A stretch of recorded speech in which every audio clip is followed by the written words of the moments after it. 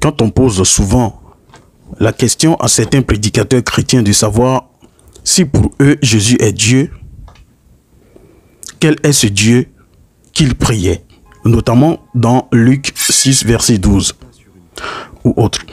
Ces prédicateurs ou ces marmailleurs sont obligés de trafiquer parfois le sens des mots pour se rendre crédibles face à leurs ouailles ou bien face aux gens qui les entourent.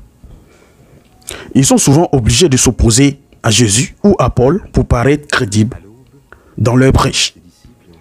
Ils sont obligés de trafiquer le sens des mots pour faire croire à ceux qui les suivent ou ceux qui les entourent qu'ils sont dans la vérité. Par exemple, quand on prend le terme Messie ou Christ dans la Bible, ces prédicateurs, par exemple comme Gédéon, ils vont donner un autre sens à ce terme ou exagérer sur la personne de Jésus. Mais heureusement qu'il y a toujours les musulmans pour les corriger. Et c'est ce qu'on va voir dans cette vidéo.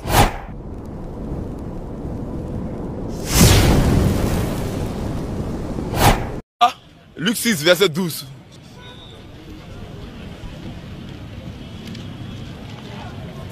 Luc 6, 12. Luc 6, 12.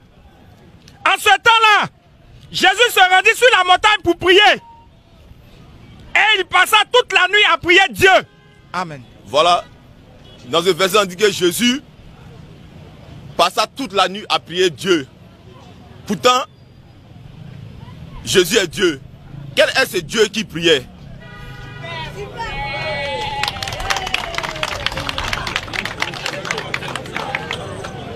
Luc 6, verset 12. Luc 6, 12. Voici les textes qui tuent. En ce temps-là, En ce temps-là, Jésus s'est rendu sur la montagne Jésus s'est rendu sur la montagne pour prier. pour prier. Et il passa toute la nuit Jésus passa toute la nuit. à prier Dieu. Voici ce qui les a détruits. Mais le texte c'est quoi? Jésus a passé toute la nuit à prier. Dieu, Jésus a prié. Dieu. Mais où est ce qui était difficile dedans C'est quel Dieu Jésus priait Voyez très bien. Vous ne trouverez pas un passage de la Bible où il a dit que Jésus-Christ a prié Dieu. C'est ça. Voyez très bien. Vous ne trouverez pas un passage de la Bible où il a dit que Jésus-Christ a prié Dieu. C'est ça. Vous voyez comment ce prédicateur-là, il, enfin, il est en train d'inventer. Ici, là, il est en train d'inventer des choses. Voilà, il dit que vous ne trouverez jamais dans la Bible où il est écrit, c'est-à-dire dans un passage de la Bible où il est écrit que Jésus-Christ a prié Dieu.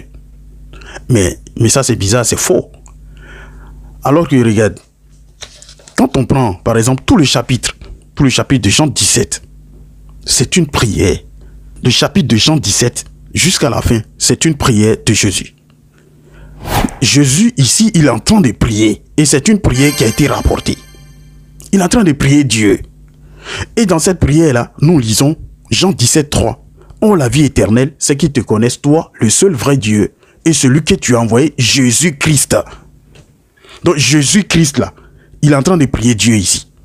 Donc, en plus, dans ce même chapitre, le même Jésus-Christ, qui a dit en Jean 17, 3, qu'il est un envoyé, ce même Jésus-Christ-là, il dit au verset 9 que c'est pour eux que je prie.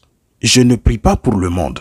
Donc, il démontre ici que lui, il est en train de prier. Mais d'où vient le fait que non, il n'y a pas un passage dans la Bible où tu trouveras que Jésus-Christ est en train de prier. Pas, tu n'as pas bien lu la Bible, mon frère.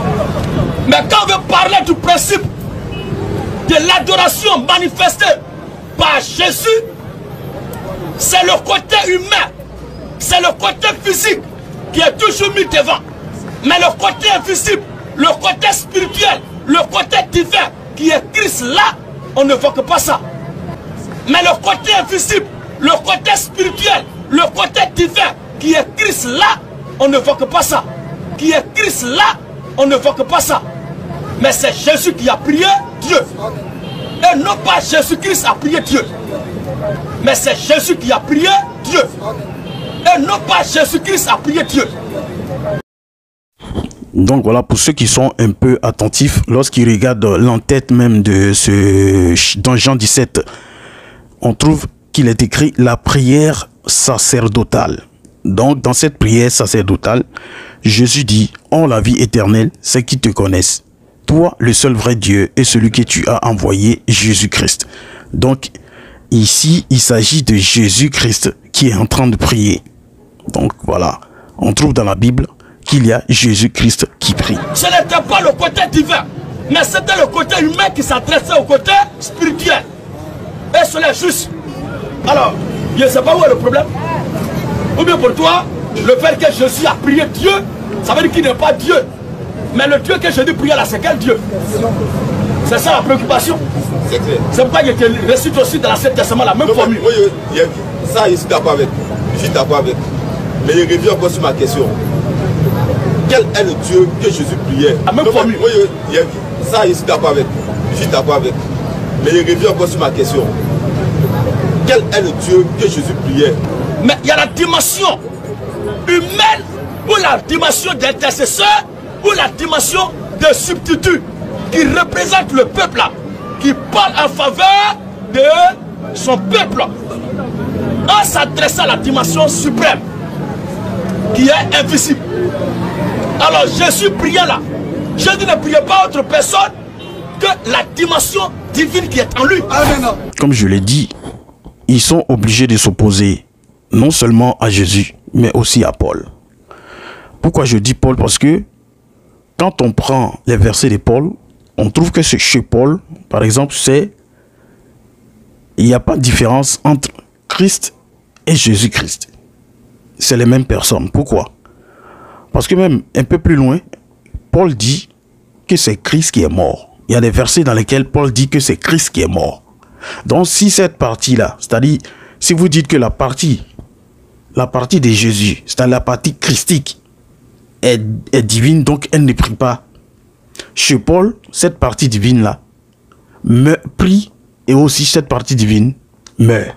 Quand on prend Romains 8, verset 34, il dit qui les condamnera? Christ est celui qui est mort. Bien plus, il est ressuscité, il est à la droite de Dieu et il intercède pour nous. Dans 1 Corinthiens 15, verset 3, il dit, je vous ai enseigné avant tout, comme je l'ai reçu, que Christ est mort pour nos péchés selon les Écritures. Ça, c'est Paul qui parle ici. Christ est mort pour nos péchés. Donc, la partie que vous considérez comme étant divine, chez Paul, c'est cette partie qui est morte. C'est cette partie qui, meurt. Alors qu'en réalité, tout le monde sait que Dieu ne meurt pas. Habakkuk 1, verset 12. 1 Timothée 1, verset 17. Au roi des siècles, immortel, invisible, seul Dieu, soit honneur et gloire au siècle des siècles. Donc c'est ce que Paul dit. Paul dit que Dieu ne meurt pas. Mais Paul dit aussi que Christ est mort pour nos péchés. Donc la partie que vous considérez comme étant divine, chez Paul, cette partie-là n'est pas divine. Parce que cette partie meurt. Et chez Paul aussi, Dieu ne meurt pas. 1 Timothée 1, verset 17. Bien plus. Voici ce qu'on va faire. Parce qu'en réalité, ce que ces gens-là disent, j'ai l'impression qu'ils ne, ils ne comprennent pas très bien là. Ils vont pas en profondeur des Écritures. Mais on va les étonner ici. Parce que quand on prend le même verset de Romains 8, verset 34, où il est dit qu'il les condamnera, Christ est celui qui est mort bien plus, il est ressuscité, il est à la droite de Dieu, il intercède pour nous. Le mot intercéder ici, lorsqu'on va dans certaines versions, à savoir celle de parole de vie, la Bible, parole de vie, on trouve qu'il est écrit, il prie pour nous. Donc ici, Christ prie. Donc la partie divine prie aussi.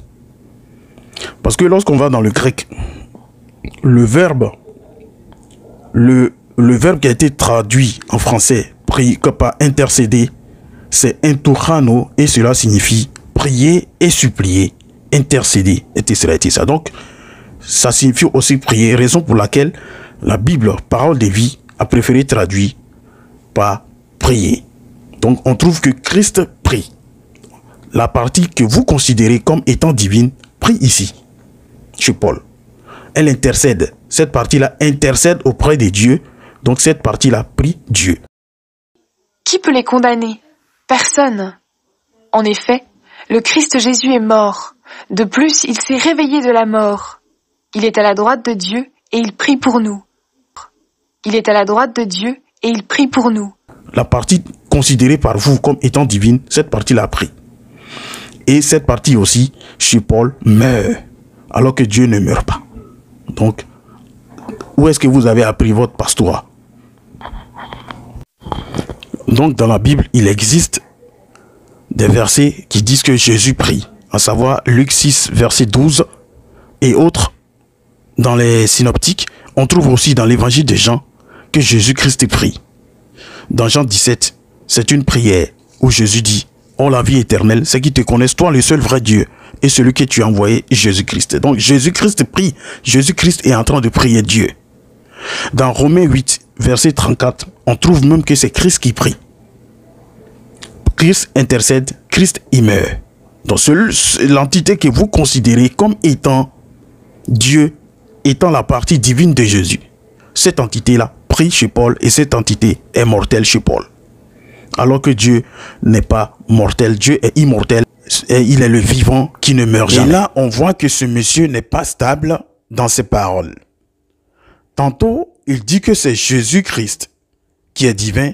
Actuellement, je vais me prononcer sur la divinité du Seigneur Jésus-Christ. Et je dis que Dieu du Seigneur Jésus-Christ n'est pas notre Dieu. Amen.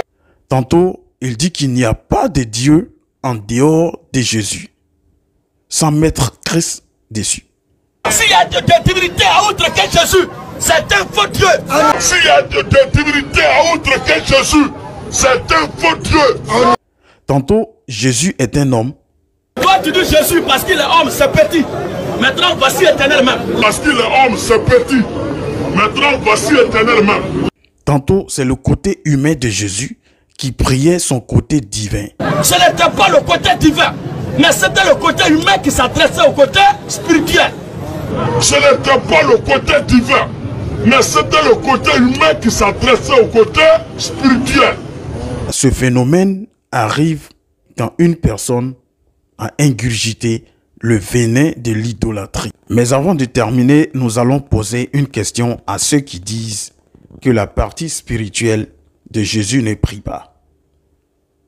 Si dans Jean 4, 23 à 24, Jésus dit que les vrais adorateurs que le Père demande sont ceux qui l'adorent en esprit et en vérité, c'est avec quoi Jésus passa toute la nuit à prier Dieu dans Luc 6, verset 12.